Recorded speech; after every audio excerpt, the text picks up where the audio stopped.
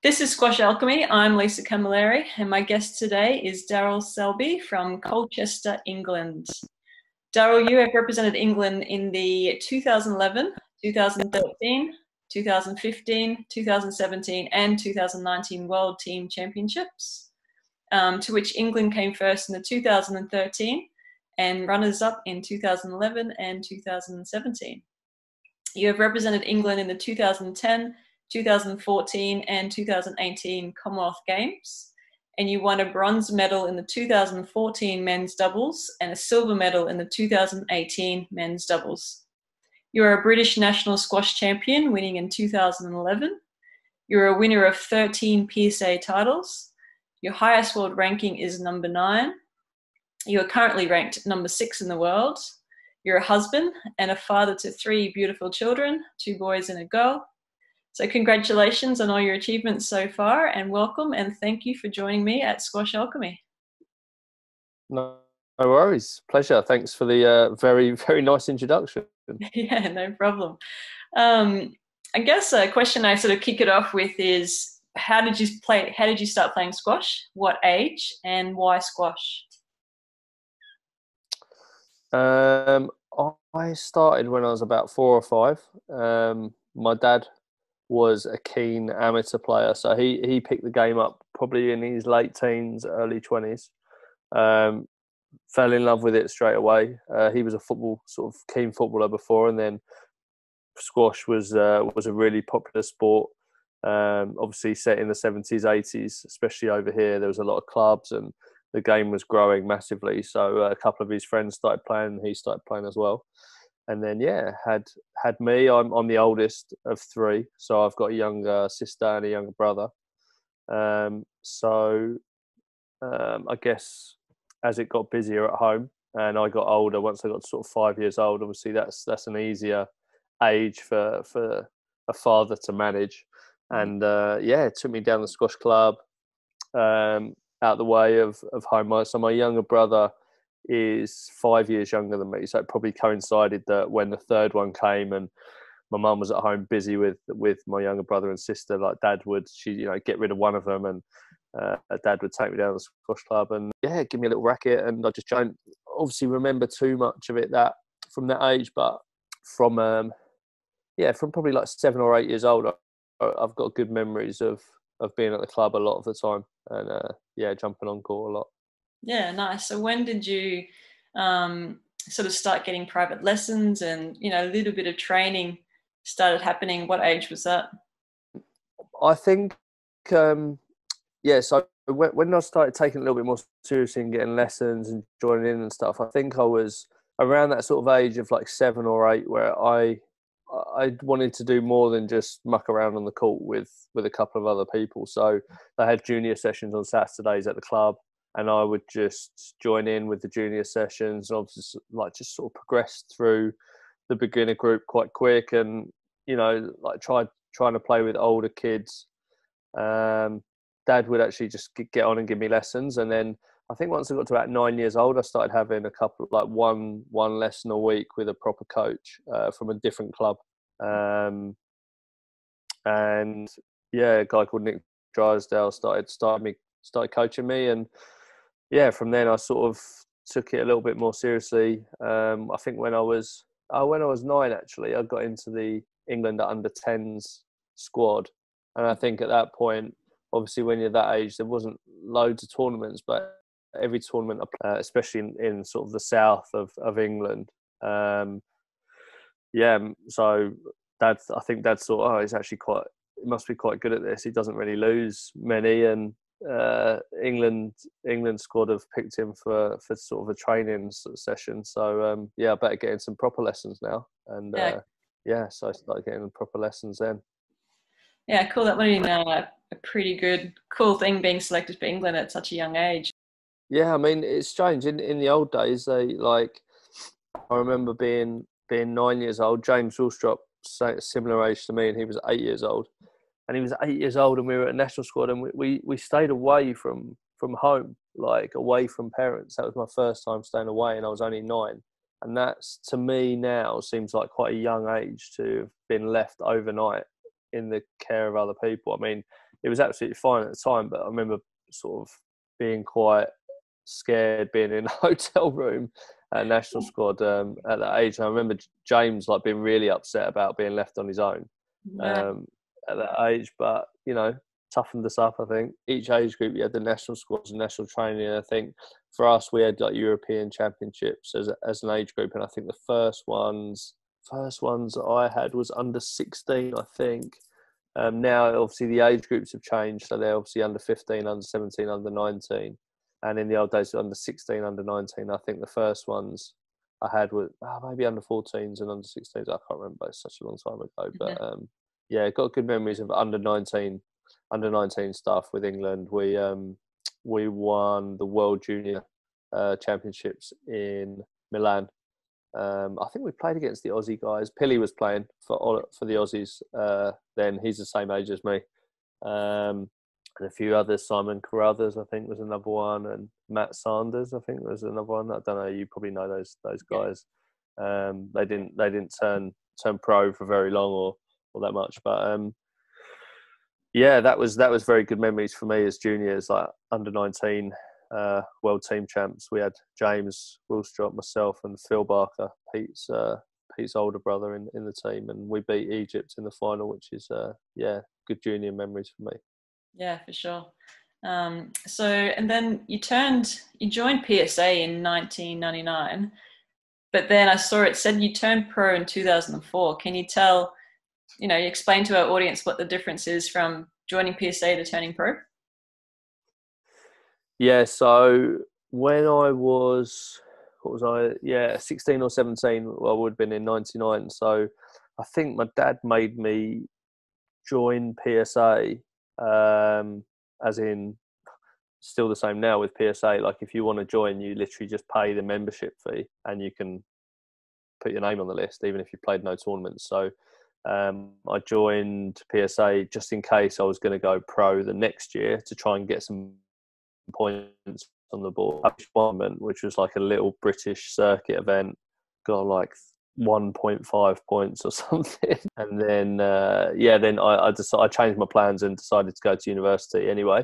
Mm-hmm. So I joined PSA in 99 for, for like literally one, I think six months or a year, played one tournament, maybe two. And then, um, yeah, and then went to university from 2001 to 2004. And then, yeah, when I finished uni, that's when I that's when I turned pro. When you um, finished university and then decided, all right, um, obviously want to play squash. Was was that a hard decision to make? Yeah, uh, it was. A, I think it was a decision of of study studying. I wasn't really studying that hard to be honest. I was playing a lot of football. I was socialising a lot, not playing much, much squash, and I got to a point where I was like, right, I'm coming to the end of this. I need to start doing something more seriously. Um, and I looked at my peers and the guys that I used to play with in juniors. Um, just sort of kept an eye on on the tour, and the likes of James Willstrop, as I said before, Greg Gaultier was my age, Pete Bark. Um, they were doing like really, really well already on the tour, um, and knowing that I was there or thereabouts with them as a junior, um, I guess gave me an incentive to be like, yeah, let's let's give this a go. Let's get back, you know, into mm. training and playing squash a little bit. So the last three four months of, of university, I, I was obviously studying for my last exam. So I, I took that as a time to sort of socialize a lot less and use it as a time to start like getting my brain in gear for for getting ready to to play squash. So I didn't want to get a proper job at that age. 21, I was like, right, if I want to get a proper job, I'm going to extend my holiday mm-hmm. um, and play squash. But it, it, to be honest, it gave me the chance to travel. I wanted to travel a little bit. Mm-hmm. Um, and you know, straight away, I, I went to New Zealand for my first first three PSA tournaments, um, and that was a great trip. I was away for three weeks and um, had a, had a great time. Probably definitely socialised too much, but um, learned a lot. And and yeah, after that trip, realised that you know that's what I wanted to do. Um, really enjoyed it. Enjoyed the challenge. Like did quite well. Got to semi final my first tournament. in a massive like 32 draw and had to play qualifying as well. I think I played like five matches in three days, and then those days it was like to 15 as well. Yeah. Um, so bit a bit of a grind, uh, sealed floors, concrete floors, and yeah, I was I was struggling for the next two weeks. It was a shock to the system, like senior squash, but um, yeah, learned a lot, and yeah, took yeah. took it from there, and haven't really look, haven't really looked back. Yeah, awesome. Um, you said that New Zealand was your first trip. That's a long way from home. And how did you did you travel on your own, or did you have others coming with you? I think I travelled with one other another English guy, uh, a guy called Pete Bilson, who um, who was from Manchester, who was uh, turning pro at the same time as me. Mm-hmm. Um, yeah, we went together, travelled together. I think we played all the same tournaments, stayed in the same place, met a couple of Irish guys out there uh, Niall Rooney and Arthur Gaskin, uh, and they they sort of stayed with us for the rest of the trip. Um, but in those days, that was the only way you could get into tournaments. To be honest, like there wasn't a lot of options in in terms of just getting putting you know starting at the bottom of the list. Every tournament you entered, you, you know you'd end up on the reserve list. And uh, the good thing about the New Zealand tour was it was in the summer, so it was like July, June, well, July and August, which for most season pros is their off season. Um, obviously, down under that's uh, that's like height of of uh, prime squash season. So um, yeah, it was it was good to good to just travel over and uh, experience. We're talking a bit about you know physicality. Um, how has your training differed from you know your early twenties and to your early thirties, and now into your late thirties? Um, yeah, it's it's actually changed a lot. Like um, in my twenties, I've honestly felt invincible in terms of um, what you could put your body through in terms of a training training session, and then wake up the next day and do exactly the same again.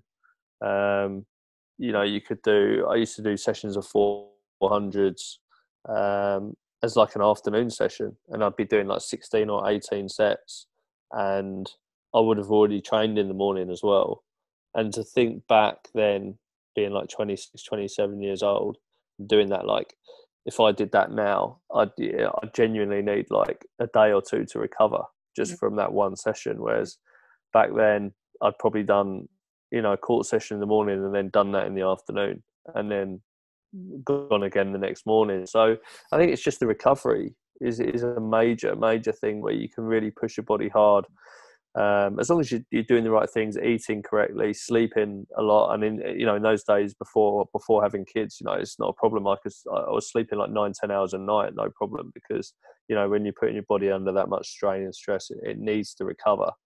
Um, you know, as you know, when you have kids, you, you, you sort of miss that sleep. Um, your body your body gets used to it amazingly well. Like that's mm. something I, I can't believe. Like I, I can easily survive on six, seven hours decent sleep now. And in those days, there's absolutely no. I, I, was like a zombie if I had six or seven hours sleep then. So it's amazing how your body adapts to it. But at the same time, as you get older, it's very difficult to put your body through those really hard physical sessions. Like I want to, but I know the damage that it can cause because it's just so hard to recover from. So I think you definitely have to train smarter as you get older, you have to do a little bit more strength and conditioning, uh, making sure that you know if you do have a niggle or you feel like something's a little bit weak, really concentrate on that area and just do two or three strength sessions if your back feels weak or your glutes are not quite firing, whatever it might be, to really just just do a couple of sessions on it, strengthen it up, get that confidence back, and not sort of worry too much about all those you know, it, it, in your twenties, you're trying to improve your level, improve your fitness, all that type of stuff. Whereas I think you, you, I know now, I, I really can't get anywhere. I can't physically peak past where I've already been. Mm-hmm. So I'm having to try and um, increase and get better in other areas. And I think that's where my squash has improved. Really, like my squash has continued improving because that's the one area I feel like you can, you, you should be able to improve. Like whether it's your technique or your tactics, the more experience you have there's no reason you can't sort of play smarter as well. Mm. You know, once you made to the top 10, did things become a lot financially easier? Uh, not. The, the top 10 was, was something that I was very proud of achieving because when I left university, that was that was my goal. So, you know, I said to my dad, I said, I want to my goal for for turning pro in the squad because he was he was helping me financially with the first part of my fights for the first two or three years, which I'm always you know eternally grateful for. But um, you know, and I said to him at the time, like uh, my my goal is to get to become one of the top ten players in the world. So when I when I achieved it, I, was really really happy. Um, I would have liked to have to stayed there a bit longer, but in um in those days, and still a little bit now, to be honest, it was always the top eight were always seeded, and it was always very hard to break into that eight because they were protected in terms of the the seedings. Um, so we changed the seedings from being like one to sixteen to then being just one to eight, and everyone else sort of going a little bit more random. And um, yeah, I just never never got never got to break into uh, the top eight. I think I had a had a chance at the British Open in uh, I can't remember what year it was, maybe 2010 or 2011. If I'd done, if I'd maybe won one round or two rounds, and I think I drew Ramy in the first round, um, and or I lost unfortunately, but it was close, close three one to Ramy, and he was number one in the world at the time, I think, or number two. So you know, you just I think you need a little bit of luck to get into that top eight, and then once you got into that top eight, it was a little bit easier to stay in there. So mm. um, yeah, I don't think financially, obviously, like with with sponsorships and stuff, it's probably you get a little bit more money, and you get a little bit more um, in terms of bonuses and stuff for being in the top ten, depending on what contracts you got. But um, prize money wise, probably a little bit better as well. But it's not it's not huge amounts to be honest. Um, you can demand a little bit more for league matches, I guess. Um, again, it's, it's it's like five, it's like 10, 20 percent, but it, you know, it's not. It's still squash. It's not life changing money. It's just um, it's just you know you feel lucky to um, to do something that you enjoy doing and, and get paid for it. Like um, there's lots of people that don't don't enjoy what they do. Mm-hmm. So um, to be able to travel and and uh, and get paid for it and have done for 15, 16, 17 years is a is a nice thing, very nice thing. Yeah, it's a pretty good lifestyle. And so, you know, like lockdown like this, being stuck at home and doing, you know, not not earning uh, not earning money at home at the moment makes you appreciate those those things, you know. So um, yeah, I appreciate it a little bit more now looking back on it. Yeah, for sure. Um, obviously, being a dad to three kids, how do you manage being a dad and being on pro tour? Is it tough being away? Yeah, it's um, yeah, it's got tougher It's definitely got tougher. Um, the addition of, a, of another, each little one's probably made it tougher as well for for my wife. Obviously, when I left her to go and play, and there was just one, you know, it's easy. She just had just had another, which is my oldest, to concentrate on. But um, now there's three of the, the little hoodlums running around. It's um, it's a lot tougher to leave them, to be honest. Um, but yeah, again, like I said about the sleep sort of factor, you um, you adapt. Um, I've, I've, adapted everything, adapted the way I train, and you know I don't train anywhere near as much as I used to. I just I just can't. I don't have the time. I've adapted my recovery because you don't sleep as much, and you you know you just um, you learn ways that work um, and, and stuff that doesn't. So yeah, it's um, you know, you just wouldn't change it. You wouldn't change it for the world. But um, yeah, the last last seven years, seven and a half years of of playing, I've I've been a dad, which you know that's uh, coming up for almost half my career. Mm. Probably forty percent of my career, I've been a father for playing, which you know it hasn't affected my my results, which is a you know a positive thing, I think. And if anything, it makes you um, it makes you realise that a loss, a bad loss, something like that you know it's not the end of the world it, it, when you're when you're a bit younger you know it can mean everything and it, there's nothing wrong with that there's nothing wrong with with wanting to win so much and uh, and you know you being genuinely upset afterwards. But as you get older and gain more experience and, and have kids you, you realize that there's more to life than than um than a squash match. Not not to say that not to say that you shouldn't give 100% when you're playing and try your best to win because that's something I always do anytime I step on court. I always I always pride myself in, in trying to give 100% and that's something that I'll, I'll always teach my kids. And I always want them to see is that no matter if you're match ball down, if you're if you're way down, playing someone who you think's way better, you have to try and get every single ball back. And that's, um, you know, at the academy here, that's something I always teach the kids. There's one thing that you, you can't, you know, there's there's no excuse for not trying your absolute best. You you know, you can say afterwards, the other the other player was was too good. Um, she she hit the ball too hard and her, her, shots were too good. Whatever that might be, that's that's absolutely fine. But there's no reason for sort of not running and trying best and that. And you have to do that yourself um, mm. if you're gonna if you're gonna sort of uh, tell everyone else to do it. So um, uh, yeah. Um, so what's next for for Daryl? So obviously when the tour um, starts again, and uh, yeah, what what's next for the next year or so?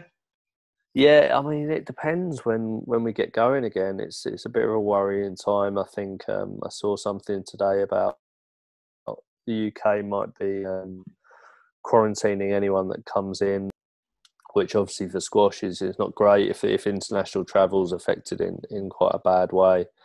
Um, I know I know you know Jen quite well, and Jen obviously when she came back to uh, Oz had to had to stay stay at home for 14 days. It's um it's a tough it's a tough thing if that's going to be the case going forward for people. So um, yeah, I hope hope to be able to play a few more tournaments if if it carries on dragging on too long and unable to play. I mean, I still like to play a few more tournaments, but it's getting tough. I'm 38 later this year, so it's it's sort of getting to that point of I'm actually a bit bit too old to to carry on doing it, uh, which is a shame. But um, I've got I've got a sports management business um, which um, I enjoy. Like as I said before, I enjoy trying to help and look after younger athletes and try and point them in the right direction and help them with as much as I can mm. whether it's on the court or you know mainly mainly away from the court, um, trying to help them in anything any way, shape,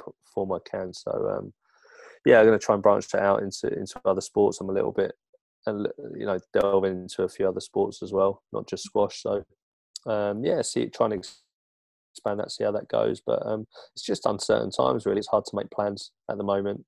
Um, I definitely want to do a little bit more coaching, so I'll keep I'll keep doing a little bit more of that. But um, yeah, I would say fingers in different pies at the moment. Yeah. Pretty exciting stuff you got going anyway. So yeah, trying to yeah. Yeah. All right. Last question I'd like to um, finish with is through all your experience and knowledges that you've gained on, you know, from junior career to senior career so far, what advice um, can you give to a junior wanting to pursue squash as their main sport? I would say the the first thing is to to really be to be open about about the like the learning process. So there isn't one there isn't one way that fits every single player. Um, I think the, the art of being is actually knowing how to adapt your coaching sort of style to, to suit different personalities and different players. Um, you know, you obviously did develop a, a basic technique which you, you hope works. But if you watch any of the Egyptians play, like all the top Egyptians, they all have different styles. It's beautiful to watch. You know, like whether you watch Raneem, Sherbini, Ali Farag, Tarek Momen, Shorbagy, like they, they all hit the ball differently. Like straight away, the way they swing it, you can see there's a, a clear difference. The way you can see it automatically. They've not all been coached the same way. Um, so so as a junior i would say like take in different opinions you know like have your coach and listen to what they say but at the same time don't be afraid to try new things or experiment with with different ways of playing or different shots and don't be scared to just hit length all day um, you know, try if if you, if you want to hit a cross court drop, if you want to play a little bit more attacking, like try it in a match. Don't, be afraid. Don't be that sort of scared thing and worry about the winning and losing as much as trying to develop your game. It's an e- it's easier said than done because as a junior and as a kid, you look at ranking lists and you look at did I beat them or did I beat them? But if you can look, look a little bit further than that and try and develop your game in a, in a positive way, and don't worry necessarily about the winning and losing in certain situations and think, oh, actually, for like five rallies there, I played such good squash. I lost the match, but those five rallies, if I can replicate that, I'm actually going to improve and get way, way higher than than that. So it's just, I guess, opening your mind a little bit, um, making sure you enjoy the training because if you don't vary and enjoy the training, then you won't you know you won't improve because to really improve that's you know that's that's where the training comes in um, and the variation of training and how you enjoy what you're doing on the court or off the court um, make, makes a big difference and made a big difference for me. I enjoy my training when I'm competitive. So whether I, if I'm doing a circuit, I'll I'll set myself a, a challenge and I'll and I'll time myself and I'll do the same one and I'll try and beat it. And for me, that's enjoyable training because I'm challenging myself to try and do something. I'm not just going reading a piece of paper that has a list of 10 exercises on and just going through and doing it because for me that becomes monotonous. So i would say don't be afraid to try and challenge yourself and if you're doing solos on court put a target down. Try and try and really get the most out of yourself in concentration wise and if you're trying to beat 10 targets in a row on a forehand drive, whatever it might be, like really time yourself and see if you can beat it. And for me, everyone learns differently, but but that's that's the way I always did it, and it, I enjoyed my you know to enjoy your training like that. I think. Um, yeah, two, two important things because the enjoyment factor of it is is a major part of it. And if you want to become a pro, like training's a big part of it. And if you're not enjoying the training, then you're not improving. I don't think. Yeah, cool. Some great advice there um, have no fear, enjoy your training, and uh, be open minded. So it's pretty cool. Yeah. Yeah. Thanks. Well, thanks. Thanks for your time today, Daryl. And I'm hoping that um, you know we can help one junior at a time that listens to these interviews. Yeah, I wish you the best of luck, and hope all the you know any juniors that watch this all the best, and, and good luck with your squash. Perfect. Thanks, Daryl. Thanks for your time.